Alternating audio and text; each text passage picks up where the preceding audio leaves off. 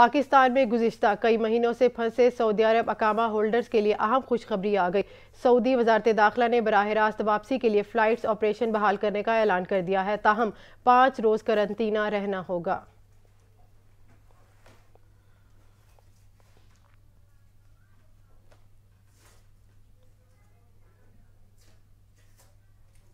पाकिस्तान में लाखों ऐसे अकामा होल्डर्स के लिए खुशखबरी है, जिसका वो बेताबी से इंतज़ार कर रहे थे।